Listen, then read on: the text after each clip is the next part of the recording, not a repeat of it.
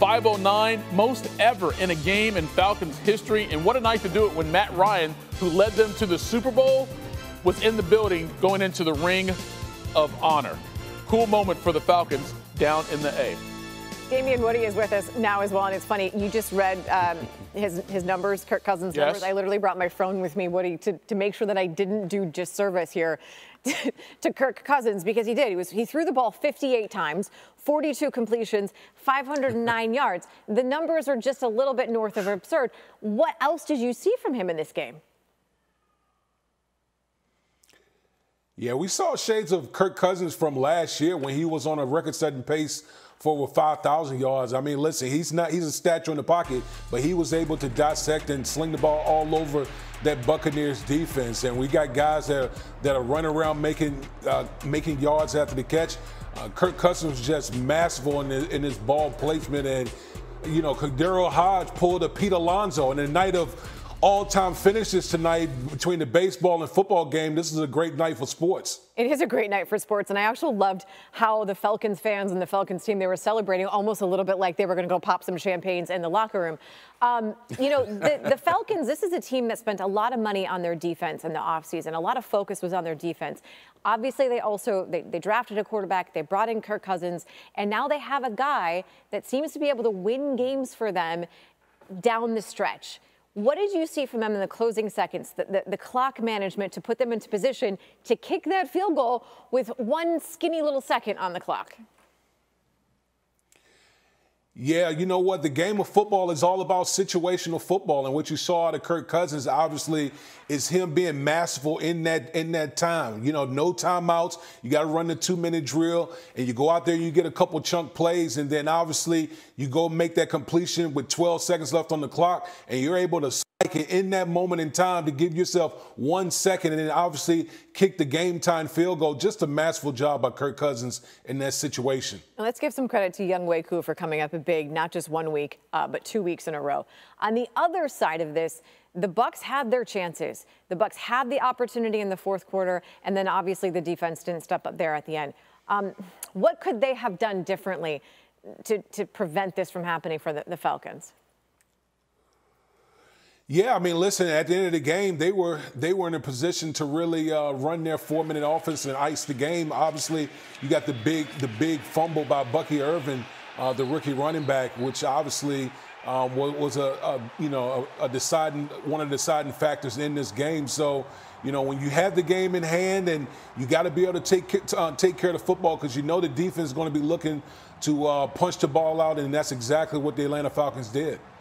All right, Woody, stand by. 66 points later, this game was over. Falcons win it in overtime. For reaction now, new on SportsCenter, the tight end, Kyle Pitts. Kyle, what did we just witness? A barn burner at the end of the execution. What did you see on that play?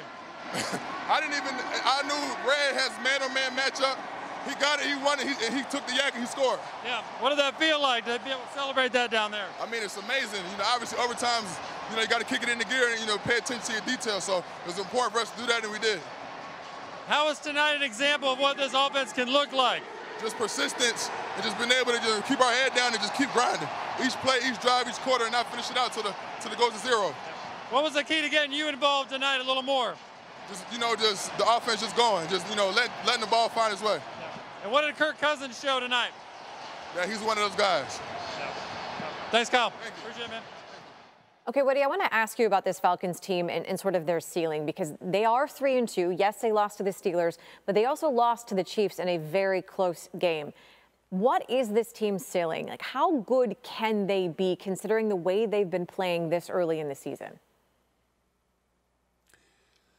Yeah, clearly tonight you you saw like offensively this team can can score with anyone. Obviously, Kirk Cousins continues to get better and better and better. And obviously, tonight he threw for a franchise record 509 yards. They have weapons all over the field on the offensive side of the ball. I think the one thing you have to talk about as relates to Atlanta and their defense is the inability to get after the quarterback and pressure the quarterback. That's something that hopefully as the season, you know, moves along that they'll get better at if they want to truly compete and be one of these top teams in the NFC conference. Obviously, this division has been terribly interesting the last couple of years, but maybe not for particularly good reasons. It's not been the best record in the NFL to make the playoffs out of this division, but this year you've got the Falcons at 3 and 2, the Bucs are 3 and 2, the Saints are good, they're in contention. When it's all said and done, who do you see coming out of this division?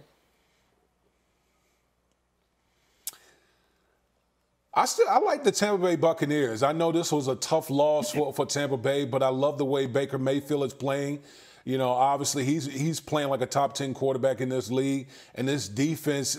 I think you know the way Todd Bowles calls his defense, they really heat up the quarterback. They were missing some some guys on that side of the ball. I think when it's all said and done, they'll be the Tampa Bay Buccaneers. Real quick before we let you go, obviously Mike Evans, uh, we saw him give away the ball to the fan tonight, his 100th career touchdown. How does he continue to impact that Bucs team?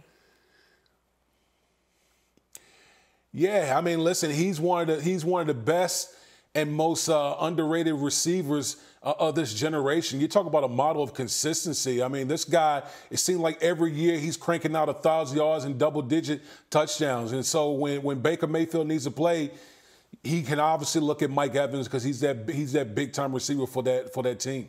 Do you think he knew it was his 100th touchdown when he gave the ball away? No.